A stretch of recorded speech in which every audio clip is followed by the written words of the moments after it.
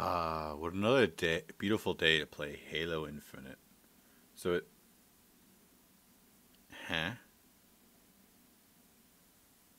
That's okay. I can just go through the Xbox app. Launch that little doodad. Ah, there we go. Halo Infinite. All right, let's play.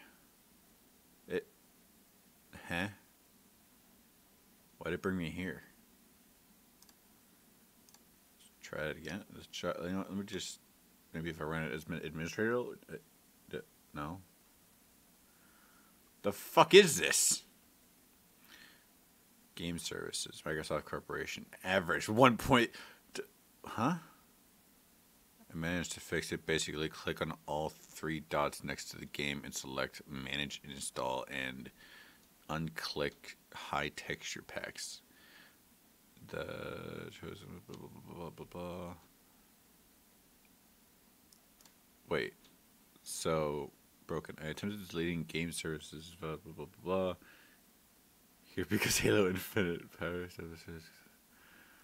So people can't play Halo right now because Microsoft fucked up.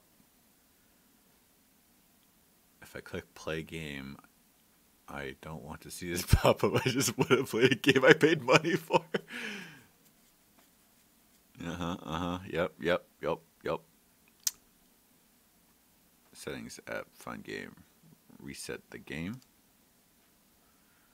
Reinstall the game. All right, hold on. I'm, I'm gonna try some of these. So what was what was the top one? Uh, uncheck high res textures. Okay, so we go to the Xbox app. View details. I'm guessing.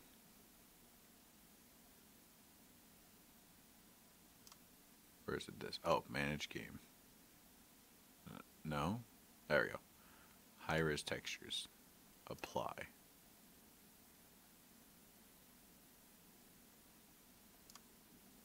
Alright, I hope that works then.